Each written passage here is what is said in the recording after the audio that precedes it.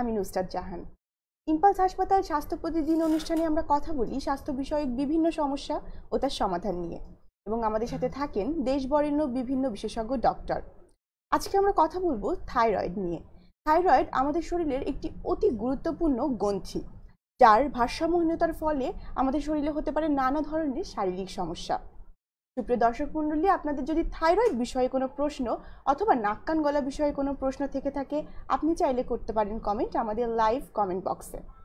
আজকে আমাদের সাথে থাইরয়েড বিষয়ে কথা বলতে উপস্থিত হয়েছেন নাক কান গলা বিশেষজ্ঞ ও surgeon professor doctor Zahir Al Amin. চলুন আর দেরি না করে চলে যাই আজকের অতিথির কাছে। আসসালামু আলাইকুম স্যার। কেমন আছেন স্যার? স্যার থাইরয়েড আজকে আমরা যেহেতু কথা বলব থাইরয়েড নিয়ে, আমাদের অনেকেরই মনে প্রশ্ন জাগে থাইরয়েড কি? থাইরয়েডের কাজ কি? থাইরয়েড কোথায় থাকে আমাদের শরীরের স্যার, এই বিষয়ে যদি কিছু বলতেন। থাইরয়েডের গ্ল্যান্ড এটা সাধারণত আমরা বলব এটাকে এখান থেকে হরমোন তৈরি হয়? এবং হরমোনটা শরীরের ভিতরে সমস্ত শরীরে ছড়িয়ে পড়ে। তো এই হরমোনের কিছু কাজ আছে। এটা অনেক জায়গাতেই কাজ করে। থাইরক্সিন থাইরক্স থাইরক্স নাম আমাদের লোকজন। থাইরক্সিন আসলে হরমোনটার নাম অথবা ট্রায়াডো থাইরোনিন তো এই হরমোনটা থাইরয়েড গ্ল্যান্ড থেকে তৈরি হয়, যে শরীরে বিভিন্ন জায়গায় যায়। থাইরয়েড গ্ল্যান্ডটা থাকে গলার মধ্যে। অনেক সময় দেখা যায় কি, আমাদের যখন একটা মহিলা যখন পিউবার্টিতে যায়, তখন দেখা যায় গলার সামনে গ্ল্যান্ড গ্ল্যান্ডটা ফুলে যায়। এটা পিউবার্টির সময় কিছু হয়। এটা হলো ফিজিওলজিক্যাল প্রেগনেন্সিতে বাড়ে গ্ল্যান্ডটা বড় হয়ে যায়। যে থাইরয়েড গ্ল্যান্ড হরমোন তৈরি করে, হরমোন তৈরি করার যেগুলো কাজ, সেই কাজ যদি বেশি হয়, তাহলে হরমোন তৈরি করার গ্ল্যান্ডটা, যে আমি যখন হাত দিয়ে সবসময় ব্যায়াম করি আমার হাতের মাসেলটা ফুলে যাবে। এক্স্যাক্টলি থাইরয়েড হরমোন যদি বেশি তৈরি করে হরমোন কোনো কারণে, তখন যে ফিজিওলজিক্যাল কারণ, যেটা পিউবার্টিতে হচ্ছে প্রেগনেন্সিতে হচ্ছে, তাহলে থাইরয়েড গ্ল্যান্ডটা এমনি ফুলে যাবে। আবার যখন কারণটা চলে যাবে পিউবার্টি পার হয়ে যাবে, তখন আবার গ্ল্যান্ডটা আবার আগের নর্মাল স্টেজে চলে আসবে। এটা হলো একটা অংশ। এটাকে আমরা বলি ফিজিওলজিক্যাল সাধারণত পিউবার্টি এবং ইসে হয়। প্রেগনেন্সিতে হয়। আবার কোনো কোনো সময় এই গ্ল্যান্ডে যদি ফাংশন প্যাথোলজিক্যাল কারণে বা শরীরে কোনো অসুখের কারণে বেড়ে যায়, তাহলে ফাংশন বেড়ে যেতে পারে। আবার একইভাবে এই এই গ্ল্যান্ডের ফাংশন কমেও যেতে পারে। সবগুলো দিয়েই থাইরয়েড গ্ল্যান্ডের আমরা বলি হাইপার ফাংশনিং থাইরয়েড গ্ল্যান্ড অথবা হাইপো ফাংশন হাইপার হলেও থাইরয়েড গ্ল্যান্ডের সাইজ বড় হয়ে যেতে পারে। আবার হাইপো হলেও থাইরয়েড গ্ল্যান্ড চেষ্টা করে কি তার ভিতরে যে হরমোন তৈরি হচ্ছে, সেটাকে আরও উজ্জীবিত করতে ফলে সে সাইজে বড় হয়ে যায়। কিন্তু পারছে না, যেটা রেজাল্ট হচ্ছে সেটা পাঠা হচ্ছে না ঠিক মতো কিন্তু হরমোন করার চেষ্টার জন্য সে বড় হয়ে যেতে পারে। থাইরয়েড গ্ল্যান্ড তিনটা কারণেই বাড়তে পারে। একটা হলো ফিজিওলজিক্যালও বাড়তে পারে হাইপো হলেও বাড়তে পারে হাইপার হলেও বাড়তে পারে। এর সঙ্গে যদি যোগ হয় কোনো টিউমার বা ক্যান্সার জাতীয় কোনো বা অন্য কোনো প্যাথোলজি যোগ হয় তাহলেও থাইরয়েড গ্ল্যান্ডের সাইজ বাড়তে পারে। কাজে গলার সামনে যখন ফুলে ওঠে এটা কিন্তু আমরা বেশিরভাগ সময় দেখেই বোঝা যায় হ্যাঁ গলার সামনে এই জায়গাটা উঁচু হয়ে গেছে। তাহলে আমরা বুঝব কি হয়তো থাইরয়েড গ্ল্যান্ডের একটা সমস্যা হচ্ছে। এবং যদি আপনারা যদি ঢোক দিলেন তো দেখবেন ঢোকগুলোর সঙ্গে সঙ্গে এটা উঠানামা করে। তাহলে বুঝতে পারবেন কি হ্যাঁ হয়তো এটা থাইরয়েড গ্ল্যান্ডেরই সমস্যা। এটা হলো জিনিস। এরপর হলো এটার ফাংশন বেশি বা কমে। কি হচ্ছে? যদি থাইরয়েড গ্ল্যান্ডের এফেক্ট ব্রেন থেকে আরম্ভ করে সব ব্যাপারেই আছে। যেরকম যদি ব্রেনের যদি ফাংশনে ধরে ব্রেনে যদি গ্ল্যান্ডের হরমোন যদি কমে যায় তাহলে আমাদের কিন্তু যদি বেশি হয় তাহলে দেখা যাবে ঘুম আসতেছে। আবার যদি কমে যায় তাহলে দেখা যাবে ঘুম ঘুম ভাব লেগে সারাক্ষণ। ঝিমুনি ঝিমুনি ঘুম ঘুম ভাব। ঘুম থেকে উঠানো কঠিন। তাহলে একটা যদি বেড়ে গেল তাহলে ঘুম কম হবে। কমে গেলে কমে গেলে ঘুম বেশি স্যার আর কি কি ধরনের সমস্যা হতে পারে এই হাইপোথাইরয়েডিজমের হাইপো যেরকম আবার একই সবগুলো এদিক ওদিক পিঠ আছে কিছু দুই ক্ষেত্রেই হয়। যেরকম টেম্পারেচার বডির তাপমাত্রা যদি হাইপার হয় সে টেম্পারেচার বেড়ে যাবে। যখন টেম্পারেচার বেড়ে যাবে তখন আমার কি হবে? আমার বেশি মানে গরম লাগবে। গরম লাগার জন্য আমি এসি চালাবো ফ্যান চালাবো এগুলো করব। আবার যখন কমে যাবে তখন বডির টেম্পারেচার কমে যাবে। তখন আবার হবে কি? আমাদের ঠান্ডা ঠান্ডা লাগবে। তখন যদি সবসময় দেখা যাচ্ছে কম্বল চাপায় বসে আছি বা গরম কাপড় চাপায় বসে আছি হলে প্রেফারেন্স টুয়ার্ডস টু কোল্ড অথবা হট হিট তো দেখা গেল হাইপার হলে গরম বেশি লাগবে, ফলে আমাকে এসি ছাড়তে হবে, এটা ছাড়তে হবে। আর হাইপো হলে ঠান্ডা ঠান্ডা লাগবে আমাকে। ঠিক সেরকম খাদ্য গ্যাস্ট্রেন্টের ট্র্যাকে যদি আমরা যাই এখানে দেখা গেলো হাইপার হলে খুব বেশি হজম হবে। হজম হওয়ার জন্য দেখা যায় বারবার করে খেতে ইচ্ছে খিদে খিদা লাগবে কিন্তু একটা জিনিস যেটা হলো যেহেতু হরমোনটা বডির এটাকে বার্ন করে দিচ্ছে খিদা লাগলে কিন্তু খাইলেও কিন্তু ওজন ওরকম বাড়বে না। এখন যদি আমি খেয়ে যদি ওজনকে বাড়ায় ফেলি সেটা আলাদা কথা। কিন্তু দেখা গেল কি ইকুইভ্যালেন্ট অ্যামাউন্ট যে নর্মাল পার্সন যদি খায় তাহলে তার ওজন অতখানি যতখানি বেড়ে যাওয়ার কথা ছিল হাইপার ফাংশন হলে ওজন বাড়বে না। কিন্তু সে ঘন ঘন খিদা লাগবে খেতে ইচ্ছা করবে এবং ঘন ঘন টয়লেটও যাবে। হয়তো দিনে দুইবার তিনবার যাবে কিন্তু নর্মাল স্টুল পাস করবে। হাইপো হলে কিন্তু খিদা কমে যাবে খিদা অতখানি লাগবে না। তারপরে ধরেন আপনার চলাফেরা যদি আমরা দেখি হাইপার হলে চলাফেরা বেশি হবে হাইপো হলে একটু স্থবির হবে। হবে। সেক্সুয়াল ব্যাপারেও কিছু সমস্যা হয়। হাইপো হাইপার দুটাতেই হবে। আরেকটা জিনিস হতে পারে কি হাইপো হাইপারে একটা জিনিস হলো সেটা হলো আমাদের ব্লাড ভেসেল ব্লাড ভেসেল মধ্যে চর্বি জমবে। হাইপো হলেও জমে এবং এর থেকে দেখা যায় যে কি আমাদের ব্লাড প্রেশার বেড়ে যেতে পারে। এবং এখান থেকে কোনো সমস্যা হতে পারে। তো এদিকেও নজর রাখতে হবে কি না আমাদের থাইরয়েড গ্ল্যান্ডের লেভেলটাকে আমাদের জানি ঠিক মতো কন্ট্রোল রাখা হয় সেটার দিকে আমাদের স্যার আমরা সবাই জানি আর কি আমরা মানে আম জনতা মনে করি থাইরয়েডের সাথে রাগের মেজাজের একটা সম্পর্ক রয়েছে। স্যার এই বিষয়ে যদি একটু বলতেন। তা তো জানি না হয়তো অতখানি নাই। তবে কনসেন্ট্রেশন আমার হাইপার হলেও কনসেশন দেওয়ার ক্ষমতা কমে যাবে কারণ ইরিটেটেড থাকবে।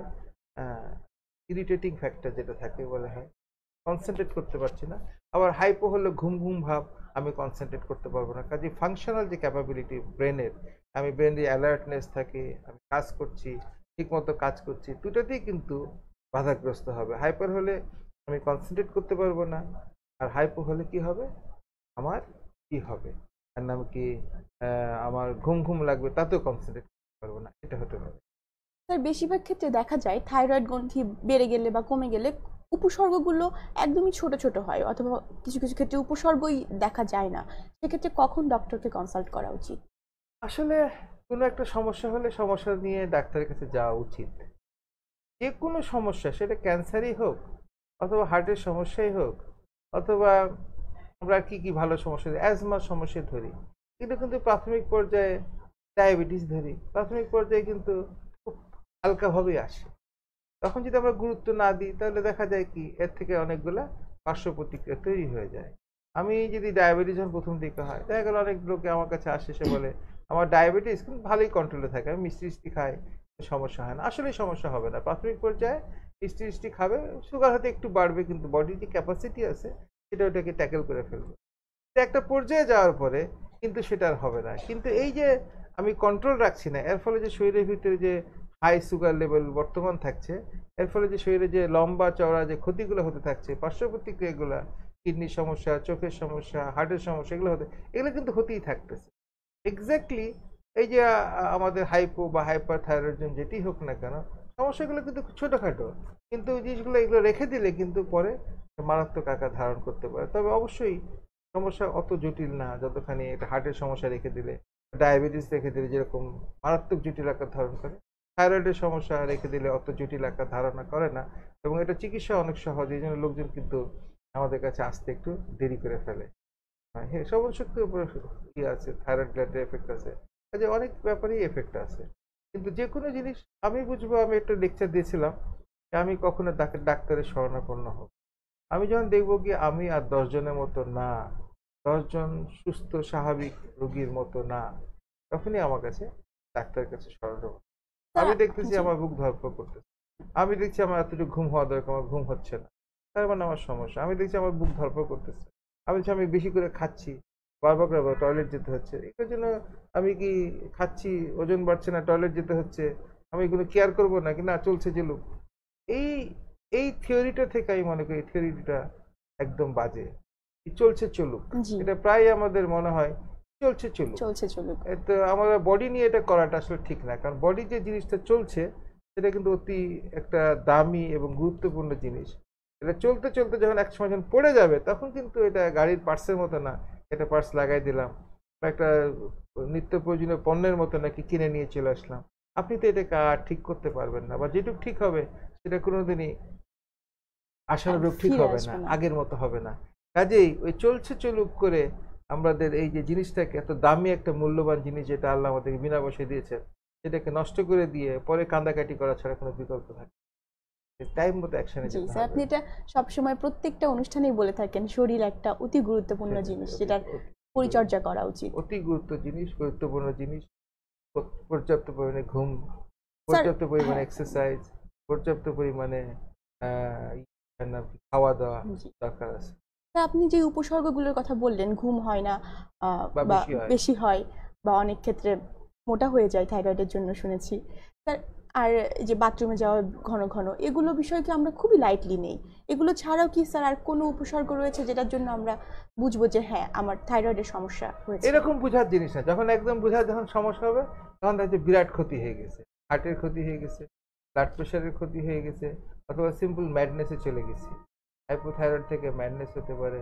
একটা হাইপার থাইরয়েড থেকে একবারে বিরাট ইরিটেটেবল স্টেজে যে একটা বিরাট খারাপ অবস্থা হতে পারে। কাজেই সেটা বোধ হয় আমাদের দিকে না যাওয়াই উচিত। আমাদেরকে সিমটমগুলোকে গুরুত্বের সঙ্গে নজর দেওয়াটাই বোধ হয় বেশি ইম্পর্টেন্ট তার আরেকটা গুরুত্বপূর্ণ প্রশ্ন থাইরয়েডের অপারেশন নিয়ে মানুষের মনে প্রচণ্ড ভীতি কাজ করে। এই বিষয়ে যদি কিছু বলতেন। আসলে থাইরয়েডের তো আপনাকে বললাম কি থাইরয়েড সাইজে বড় হতে পারে দুইটা কারণে। যদি তিনটা কারণে, একটা হলো ফিজিওলজিক্যাল কারণে বড় হতে পারে প্রেগনেন্সি পিউবার্টি আরেকটা কারণ হলো কি আমাদের যদি হাইপার হয় তাহলেও বড় হতে পারে হাইপো হলে তাহলেও বড় হতে পারে। আরেকটা কারণ হলো থাইরয়েডের মধ্যে টিউমার বা জাতীয় জিনিস হয়, তাহলে থাইরয়েডের সাইজ বড় হতে পারে। বড় হলে আপনি চোখের সামনে দেখতে পাবেন কি গলার সামনে ফুলে উঠছে। অ্যান্ড ফুলাটা কেমন হলো? এটা কি ইউনিফর্ম হোমোজিনাস না ইরেগুলার নডিউলার সেটাই ডাক্তারের ব্যাপার, সেটা আপনার ব্যাপার না। কিন্তু জিনিস হলো গ্ল্যান্ডটা ফুলে উঠল।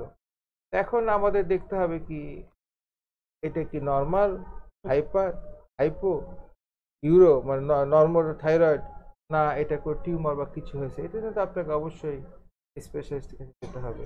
যদি হরমোনাল সমস্যা থাকে হাইপার থাকলে ওকে ওষুধ দিয়ে কমায় দেওয়া যায়। হাইপো থাকলে তাকে ওষুধ দিয়ে বাড়ায় দেওয়া যায়। দুটোই করা সম্ভব। কাজে এটা আমরা ম্যানিপুলেশন করি হাইপার হাইপো ম্যানিপুলেশন করি বাই মেডিসিন হরমোন দিয়ে হয় হরমোনের অ্যান্টি হরমোন দিই অথবা হরমোন সাপ্লিমেন্ট দিই। আমরা হরমোন দিয়ে এটাকে বেশি থাকলে কমাই দিলাম, কম থাকলে বাড়াই দিলাম। তারপর হরমোনটা গ্র্যান্ডের সাইজ নর্মাল হয়ে গেলো। পিউবার্টির সময় বা চাইল্ড বিয়ারিং সেটা হয় সেটা ফিজিওলজিক্যাল এটা ওই ওই সময়টা পার হয়ে গেলে আবার নর্মাল চলে আসবে। কিন্তু এরপরেও দেখা গেল কি থাইরয়েড গ্ল্যান্ডের সাইজ বড় আছে। বড় থাকলে আমাদের দুইটা অংশ, একটা দেখতে হবে এটা কি আমাদের কসমেটিক সমস্যা করছে এর ভিতরে কোনো টিউমার বা কোনো কোনো ক্যান্সার বা কিছু কিছু বজায় উঠতেছে। এটা আমাদের দেখে দেখতে হবে। ফলে আমাদের অবশ্যই বিশেষজ্ঞের কাছে শরণাপন্ন হওয়া উচিত। হরমোন টেস্ট করা উচিত। দেখার জন্য এটা বেশি বা কম আছে কিনা?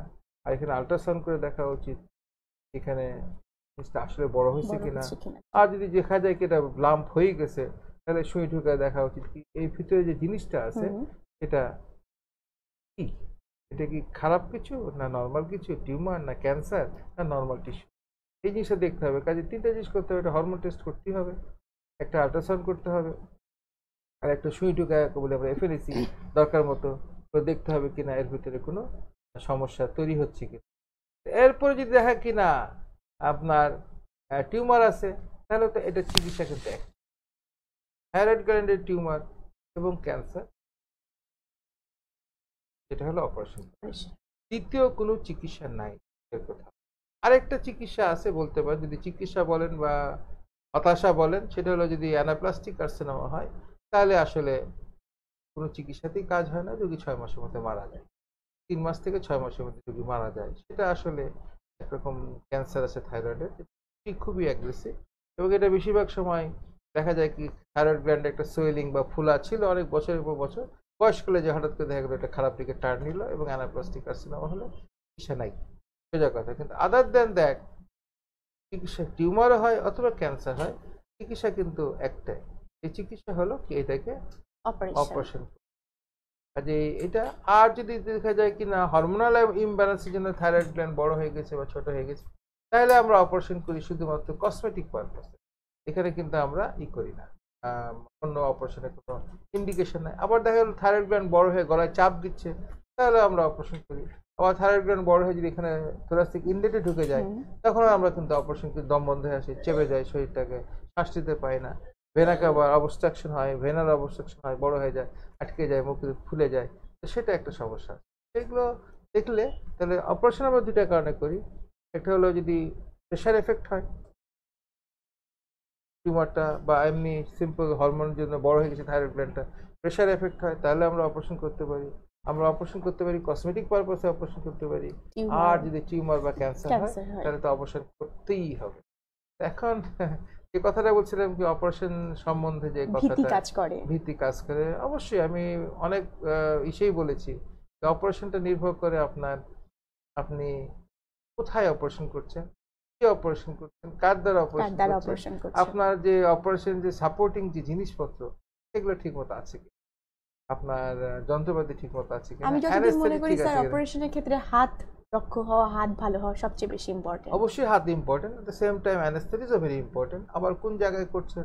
সেখানে ওটাও দরকার। আবার ওখান থেকে যদি কোনো কমপ্লিকেশন হয় তার সাপোর্টের জন্য আইসিইউ বা অন্য কিছু জিনিস সেটাও দরকার আছে। তাহলে একটা শুধু সার্জন ভালো হলে হবে না। সার্জনের সঙ্গে অ্যানেস্থেটিসও ভালো হতে হবে। যন্ত্রপাতি আপ টু দ্য মার্ক থাকতে হবে এবং খোদা না করে সবার কাছে দুনিয়ার সব জায়গায় অপারেশনের কমপ্লিকেশন হতে পারে। সেই কমপ্লিকেশন ট্যাকেল করার মতো ক্ষমতাও থাকতে হবে। মানে অন্যান্য যেগুলো সাপোর্টিং ডিপার্টমেন্ট আইসিইউ বা এইচডিইউ এগুলো থাকতে হবে এবং ওই সব সংলগ্ন ম্যান পাওয়ারও থাকতে হবে। কাজেই কিন্তু থাইরয়েড অপারেশন করে ক্যাজুয়ালিটি হয়ে যাবে থাইরয়েড অপারেশন করে রুগী মারা যাবে থাইরয়েড অপারেশন করার পরে গলা স্বর বসে যাবে থাইরয়েড অপারেশনের সময় এটা ওটা হবে এটা বোধ হয় অ্যাকসেপ্টেবল না।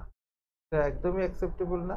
থাইরয়েড গ্ল্যান্ডের অপারেশন ইয়াংদের হয়ে থাকে সাধারণত মেয়েদের হয়ে থাকে এটা- এটা কসমেটিক্যালি আমরা চেষ্টা করব যতখানি কসমেটিক্যালি অপারেশন করা যায় কিন্তু অপারেশনে ঝুঁকি থাকা উচিত।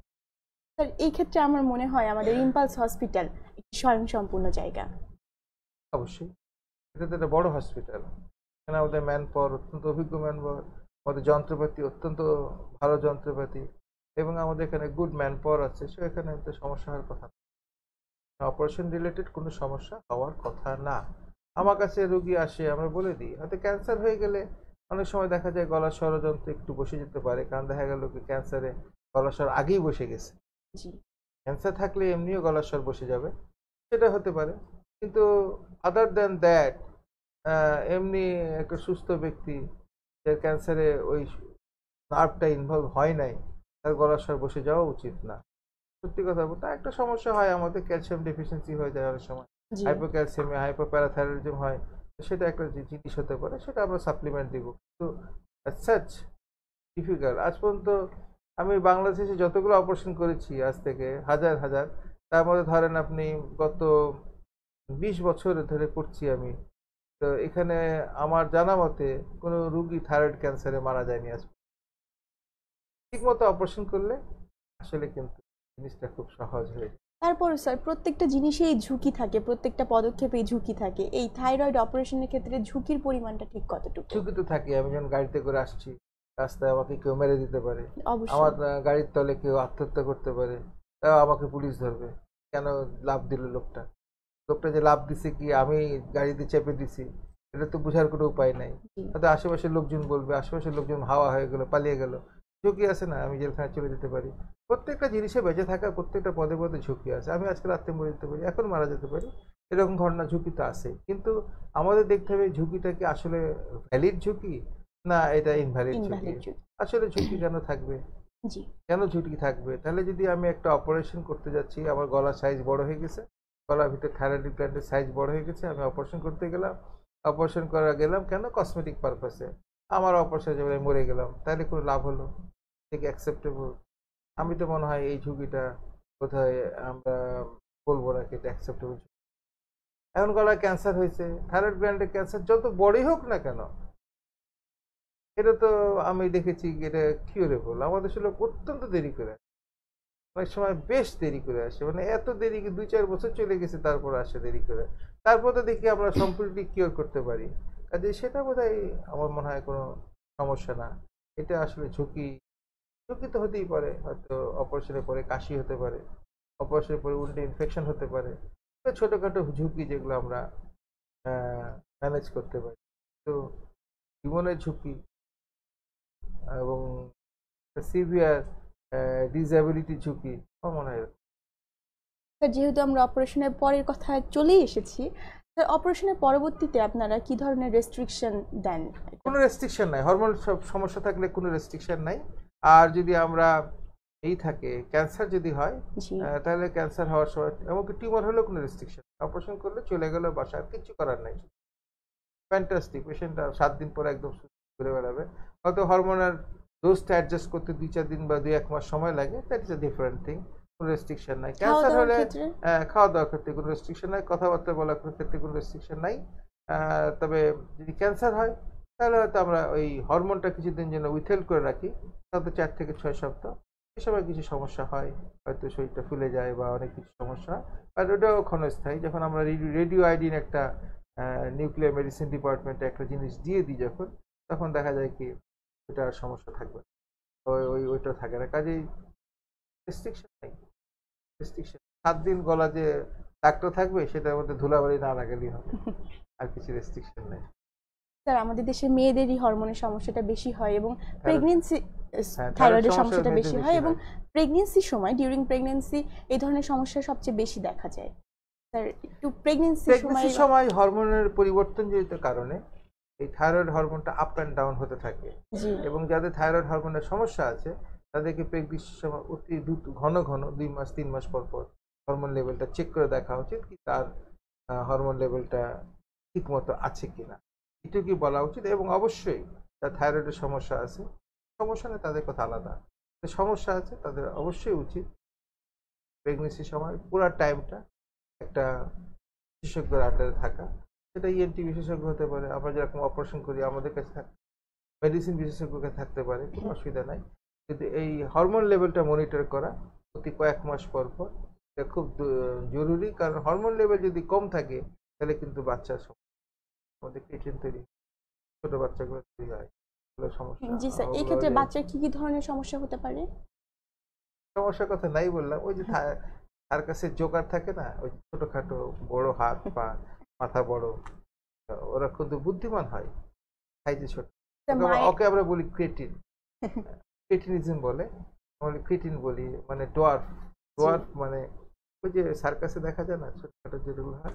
আর দিদি যদি হরমোন কম থাকে থাইরয়েড হরমোন তাহলে বাচ্চা ডোয়ার্ফ হয়ে যায়। স্যার সেক্ষেত্রে কি বাচ্চার জন্মগতভাবে মায়ের থেকে হারমোনের মানে থাইরয়েডের সমস্যা হতে পারে? বা- বাচ্চা যখন মায়ের পেটে গ্রো করছে তখন সে তো মায়ের হরমোন পাচ্ছে না জি। এই হরমোন দিয়ে তো সে চলতেছে। তো এই হরমোনের এফেক্ট তার উপর আছে না? দেখা গেল যে এরকম যদি ডায়াবেটিস থাকে তো বাচ্চা সাইজ বড় হয়ে যায়। তো বাচ্চা সাইজ বড় হলো ছোট হলো ওটা তো ম্যানেজ করা যায়। কিন্তু ক্রেটিন যদি হয়ে যায় ওই যে সাইজগুলো দেখছেন না আপনার যে জোকারগুলো যেটা দেখেন মাথা বড় হাত বড় বডিটা ছোট। পা হাত বড় বডিটা ছোট এমনি করে হাঁটে। ওই যে টিপিক্যাল থিয়েটারে এবার সার্কাসের মধ্যে যে জোকারগুলো দেখা যায় ওটা হলো ক্রেটিন ওদের ওদের ওদের থাইরয়েড হরমোনের প্রবলেমের জন্য ক্রেটিন তৈরি এবং এটা ইরিভার্সেবল কিছু করার নেই। থাইরয়েড স্যার আসলে আসলে আমরা ছোটভাবে দেখি কিন্তু এটা অনেক বড় একটি সমস্যা। অবশ্যই অবশ্যই অবশ্যই থাইরয়েড হরমোনটা চেক করা উচিত এবং এটাকে ফলো আপে রাখা উচিত। হরমোন নর্মাল থাকে ফ্যান্টাস্টিক রুটিনলি এটা করা উচিত আমি মনে করি। আমার দেশে যখন আমরা ছোটোখাটো সমস্যাকে একদমই গুরুত্ব দিই না আমার মনে হয় আমাদের সবারই প্রেগনেন্সি হরমোনটা চেক রাখা উচিত। থাইরয়েড ক্যান্সারের ক্ষেত্রে এর কি কোনো উপসর্গ রয়েছে নাকি? না না ক্যান্সার ক্ষেত্রে সোজা জিনিস, এটা তাড়াতাড়ি বাড়তে থাকবে। দেখা যাচ্ছে এটা গলার সামনে এটা ফুলছে জিনিস গজাচ্ছে এবং এটা বাড়তে থাকবে। যখন পেইন হবে, যখন হোর্সেস অফ ভয়েস হবে, গলার স্বর বসে যাবে, যখন শ্বাসকষ্ট হবে, তখন ইউ অলরেডি টু লেট অনেক ক্ষতি করে ফেলেছেন আপনি। প্রাথমিক পর্যায়ে দেখা যাবে গলার সামনে একটা জিনিস মতো তৈরি হয়েছে, শক্ত ধরনের শক্তই মতো মনে হয়, বা ফার্ম অ্যাটলিস্ট এবং এটা বাড়তেছে, দেখা যায় বাড়তেছে। প্রত্যেক দিন বাড়ে না, তবে হ্যাঁ দু এক সপ্তাহ, দুই এক মাস পর হিসাব করে দেখবেন এটা বেশ বড় হয়ে যাচ্ছে। তখন আপনি বুঝে নেবেন কি একটা সমস্যা হচ্ছে আর এইগুলো সব কিছুর দিকে দেখেও না দেখার ভান করাটা ঠিক না আসলে। আলটিমেটলি এটা তো ই না, আপনি সামনে ট্রেন আসতেছে, আপনি ট্রেন লাইনে দাঁড়িয়ে আছেন। চোখ বন্ধ করে থাকলে তো হবে না। ট্রেনটা এসে তো কয়েক মিনিটের মধ্যে বা কয়েক সেকেন্ডের মধ্যে আপনাকে হিট করবে। আপনাকে পালাইতে হবে। এক্স্যাক্টলি গলার সামনে একটা ফুলা হয়ে যাচ্ছে, ফুলতেছে। সাইজে বড় হচ্ছে। আমি কিছুই না করে বসে থাকলাম। কেন পরে যখন আর একটু বেশি হয়ে যায়, তখন দেখা যায় গলার মধ্যে ব্যথা করে, গলার স্বর পর্যন্ত বসে যায়। আরও যখন বেশি বড় হয়ে যায়, তখন রেকারেন্ট রেঞ্জের দুটোই প্যারালাইসিস হয়ে যায়, তখন কিন্তু শ্বাসকষ্ট এবং ঘর ঘর করে শব্দ হতে পারে, দম বন্ধ হয়ে যেতে পারে, হঠাৎ করে। তো এটা হলো অনেক বেশি বাড়ার জন্য। সাধারণত কোনো হরমোন রিলেটেড সমস্যা নিয়ে রুগী আসে, গলার সামনে একটা ফুলে গেছে এবং এখান থেকে থাইরয়েড গ্রহণ থেকে যে গ্ল্যান্ডে চলে যায় সাইডও ফোলা টোলা হতে পারে। এগুলো মানে জাস্ট ফুলে উঠবে। কি বোঝা যাবে? এটা ক্যান্সারের দিকে হতে যাচ্ছে। স্যার আপনি তো বললেন যে এই ক্ষেত্রে অপারেশন ছাড়া কোনো উপায় নেই। অপারেশন ছাড়া স্যার আর কোনোভাবে প্রিভেন্ট করা সম্ভব এই থাইরয়েড ক্যান্সার কিছু কিছু থাইরয়েড গ্ল্যান্ডের ক্যান্সার হয় যেটা হয় থেকে জন্মগতভাবে। সেটা তো প্রিভেন্ট করার কিছু নাই। এটা জেনেটিক্যালি জেনেটিক্যালি আমরা কিছু কিছু ফ্যামিলি বহন করে। সেটা MEN one MEN two MEN MEN one MEN genetically autosomal dominant এটা বাচ্চাদের মধ্যে ফিফটি পার্সেন্ট বাচ্চা হবে। এটা খুব রেয়ার ঘটনা। আর একটা জিনিস হলো কি অবশ্যই অবশ্যই যদি আমাদের রেডিয়েশন যেটা হয় ওই চেন্নোভার বা ইসে হিরোসীমা নাগাসাকিতে অ্যাটম বোম ফেলা হয়েছিল তারপরে দেখা গেলো দশ বছর পনেরো বছর পরে থাইরয়েডের টিউমার এবং থাইরয়েডের ক্যান্সার অনেক বেড়ে গেল। এটা হবেই এটা ঠেকাবার কোনো উপায় নেই। যখন এই যে কিছুদিন আগে জাপানে একটা হলো দশ বছর পরে টিউমার বাড়বে এবং পনেরো বছরের মাথায় দেখা যাবে অনেকগুলো ক্যান্সার তৈরি হচ্ছে। থাইরয়েড না স্যালাভারি গ্ল্যান্ডের হেড অ্যান্ড নেক অনেক ক্যান্সারই কিন্তু এই আয়োনাইজিং রেডিয়েশন বলি আমরা তার ফলে একটা ল্যাটেন পিরিয়ডের পরে এটা হয়। এটা ঠেকাবার কোনো আর বোধহয় খুব একটা কারণটা আরেকটা যেটা কারণ যেটা ছোট্ট করে বলেছিলাম আমি আগে কি অনেক দিন ধরে অনেক আছে থাইরয়েড গ্ল্যান্ড ফুলা আছে কোনো কেয়ারই করছে বছরের পর বছর। নর্মাল বেনাইন মাল্টিনোডুলার গয়টার বা সিম্পল গয়টার বা কিছু একটা গয়টার ফর্মে আছে। বলি। আমরা কোনো কেয়ার করি না। ডাক্তারও বলে না, যখন সমস্যা নাই তখন রোগীও ভাবছে আমার এত টাকা খরচ করে অপারেশন করা উচিত না, দরকারও নাই, আমার তো কোনো আছে। হাজব্যান্ডও কিছু বলে না, সাধারণত মেয়েদের হয় যেহেতু ওয়াইফও কিছু বলে না সবান হিসেবে থাকছে, সব অবস্থান। হঠাৎ করে দেখা যায় বাট ইজ ভেরি রেয়ার আমি সবাইকে কিন্তু আতঙ্কিত করতে চাচ্ছি না। আতঙ্কিত করলে আসলে কিন্তু আমার একটা অন্যায় হয়ে যাবে। ভেরি ভেরি রেয়ার ক্ষেত্রে দেখা যায় বয়সকালে যখন বার্ধক্য মানে এলডারলি পেশেন্টের সিক্সটি ফাইভ সেভেন্টি ইয়ার্সে যে হঠাৎ করে দেখা যায় একটা বিরাট ম্যাসিভ আকারে বাড়তে থাকে এগুলো কেস আমরা বছরে দুই তিনটা করে দেখি। এবং এই কেসটা বাড়তে গেলে প্রথমেই আসে সে শ্বাসকষ্ট। সোয়েলিং হয়ে যায় গলার মধ্যে এবং সোয়েলিং দেখা গেলো পনেরো দিনে হয়ে গেছে। বিশ দিন এত বড় সোয়েলিং হয়ে গেছে এবং শ্বাসকষ্ট। তখন আমাদের কিছু করণীয় থাকে না। আমাদের হয়তো খুব যদি কপাল ভালো থাকে তো আমরা গলা ফুটা করে শ্বাসের জন্য একটা রাস্তা করে দিই। আর না থাকলে শ্বাসকষ্ট হয়ে মারা যাবে। অথবা ইনটিউবেট করতে হবে আইসিতে ঢুকাই দিয়ে গলার মধ্যে টিউব ঢুকাইতে হবে অথবা যদি আমার কপাল ভালো থাকে তাহলে আমরা একটু ফুটা করে দিয়ে শ্বাসের রাস্তা খুলে দিতে পারি। রুগী তিন থেকে ছয় মাসের মধ্যে কিছু করার নেই। এগুলি আমরা অ্যানাপ্লাস্টিক বাট আমি আবারও বলছি ভেরি ভেরি রেয়ার এবং এটা ইয়াং বয়সে হয় না সাথে এলডারলি পেশেন্ট এলডারি পেশেন্ট বেশি আসে থাইরয়েডের সমস্যা নিয়ে না ইয়াং এজে ইয়াং বেশি। থাইরয়েড সমস্যা ইয়াং বেশি। আমাকে আরেকটা কথা বলেছি থাইরয়েডে কিছু কিছু ক্যান্সার আছে প্যাপিলারি কার্সিনোমা এটা কিন্তু আমি পাঁচ বছর বয়সে হতে কাজে একদম আনকমনটা কমন আমাদের দেশে অনেক কমন অনেক দেশে সেক্ষেত্রে কি মেয়ে না ছেলে কোন কোন পেশেন্ট বেশি আসে? থাইরয়েডের সমস্ত সমস্যায় মেয়েদের বেশি। জি। অনেক স্যার কেন মেয়েদের এই সমস্যাটা বেশি? এটা কোনো জিনিস নয়। জেনেটিক্যাল প্রেজিস আছে না? অনেক জিনিস ছেলেদের বেশি হয় অনেক জিনিস মেয়েদের বেশি। এটা মেয়েদের বেশি এটা মেয়েদের কেন হয়েছে এটা বলা যায় না। থাইরয়েডের সমস্যার ক্ষেত্রে কন্টিনিউয়াসলি মেডিসিন নেওয়ার যে প্রসেসটা এটা কি সবসময় আমার একটা? গ্ল্যান্ড একটা হরমোন তৈরি করছে না। আমি কি করব? না খেয়ে বসে থাকব হরমোনটা না সাপ্লিমেন্ট দিব না? আমাকে তো বাইরে থেকে সাপ্লিমেন্ট দিতে হবে। এখন আপনি খাওয়া খিদা লাগছে আপনি খাবেন না। এটা তো হরমোনটা তো আমি বাইরে থেকে এক্সটার্নাল কিছু আজে বাজে জিনিস দিচ্ছি না। কেমিক্যাল না এটা কিছু না। এটা হলো আমার বডি যেটা তৈরি করতে পারছে না সেটা আমি বাইরে থেকে হিসাব কাজে এটা নিয়ে তো টেনশন করার কিছু না। তবে যদি থাইরয়েড হরমোনের ফাংশন বেশি থাকে, তাহলে যদি দেখা যায় কি ফাংশন বেশি আছে, তাহলে আমরা যে ওষুধগুলো দিই এই ব্যাপারে কিন্তু আমাদের খুব সচেতন হওয়া উচিত। ফাংশনকে নামাবার জন্য মানে থাইরয়েড হরমোনের অ্যান্টি যেগুলো আমরা দিই সেগুলো কিন্তু বেশি দিন খাওয়া উচিত না। আমাদের দেশে অনেক লোককে আমি দেখেছি, যারা বছরের পর বছর এই হরমোনটাকে কমাবার জন্য কার্বিমাজল গ্রুপের ওষুধ মেথিমাজল বা কার্বিমাজল গ্রুপের ওষুধ সমানে খাচ্ছে, এটা কিন্তু মারাত্মক ক্ষতিকারক। এটা এক বছর, দেড় বছরের বেশি খাওয়া যায় না। এটা হলে বোন ম্যারো যেটা আমাদের কিন্তু রক্ত তৈরি হয় সেটা কিন্তু বন্ধ হয়ে যেতে পারে এবং এর ফলে হয়তো বিরাট সমস্যা অ্যানাপ্লাস্টিক ই হতে পারে হতে পারে অ্যানিমিয়া হতে পারে মানে একদম aplastic anaemia sorry aplastic anaemia হতে পারে মানে সবের শরীরের সমস্ত আহ, ই রোগ প্রতিরোধ জিনিস এবং রক্ত কণিকা প্রোডাকশন বন্ধ হয়ে যেতে পারে। কাজেই যদি হরমোন রিপ্লেসমেন্ট হয় থাইরক্সিন থাইরিন বা এরকম কিছু নাম এটার জন্য আমরা কিন্তু সারা জীবন চলতে হবে, কোনো অসুবিধা কিন্তু হরমোন বেশি আছে কমাবার জন্য যেগুলো ওষুধ আমরা দিই, এগুলো ভেরি টক্সিক ওটা তো বাইরের জিনিস।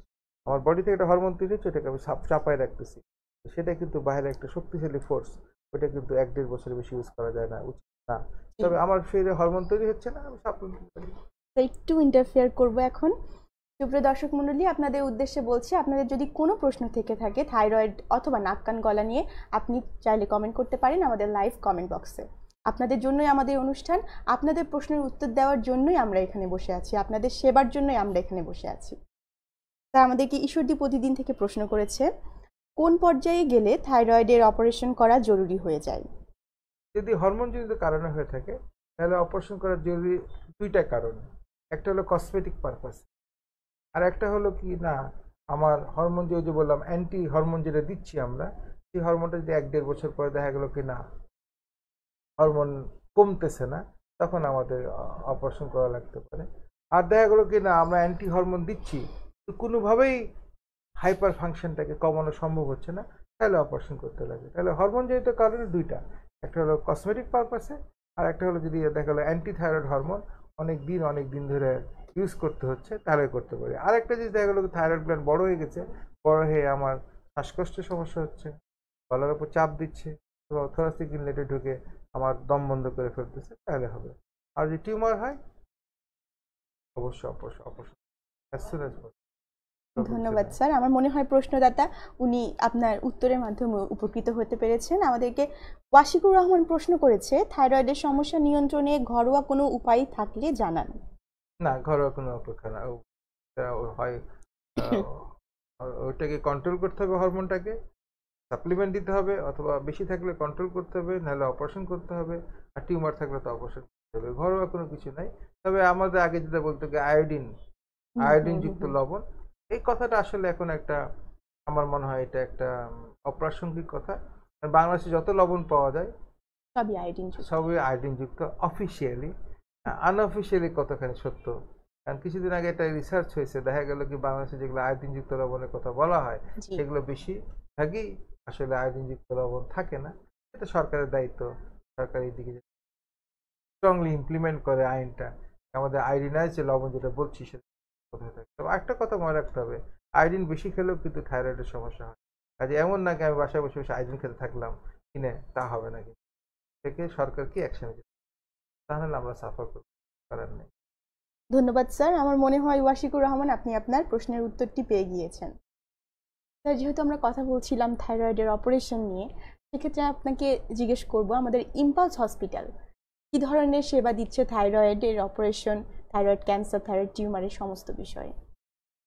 সবগুলো চিকিৎসা আমরা সবাই জানি। অতি অতি efficiently without any problem you can come safely to Impulse Hospital we can care of that thing কোনো সমস্যা নেই।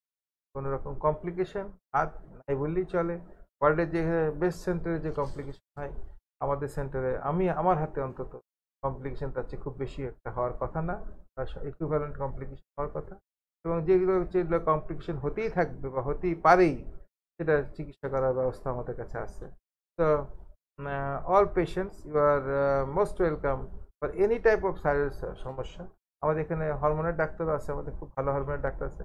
এনি হরমোনের প্রবলেম এনি টেস্ট থাইরয়েডের জন্য, এবং এনি অপারেশন প্রবলেম হয় অপারেশন যদি দরকার লাগে আমি can assure that Impulse Hospital full নিরাপদে সক্ষম। স্যার আমাদের এতগুলো প্রোগ্রামের মাধ্যমে আমার মনে হয় দর্শক মণ্ডলীরা জেনে গিয়েছে আমাদের ইম্পালস হসপিটালের নাক কান গলা বিভাগ সম্পর্কে এবং সার্ভিস আমাদের অনেকগুলো ডিপার্টমেন্ট নাক করা ভালো আছে। আমাদের E ইএনটি ডিপার্টমেন্টে নাক করা অবশ্যই ভালো আছে। এটাতে কারণ যেহেতু এটা আমি আমার সঙ্গে জড়িত আমি এটা গ্যারান্টি দিতে পারি। অন্য ডিপার্টমেন্ট অবশ্যই তারাও এসে বলবে তাদের ডিপার্টমেন্ট না they are running very efficient department যেরকম আমাদের গ্যাস্ট্রো লিভার হচ্ছে আমাদের নেফ্রোলজি ডিপার্টমেন্টে হচ্ছে নেক্সট টাইমে আরও অন্য ডিপার্টমেন্টে এসে আসবে।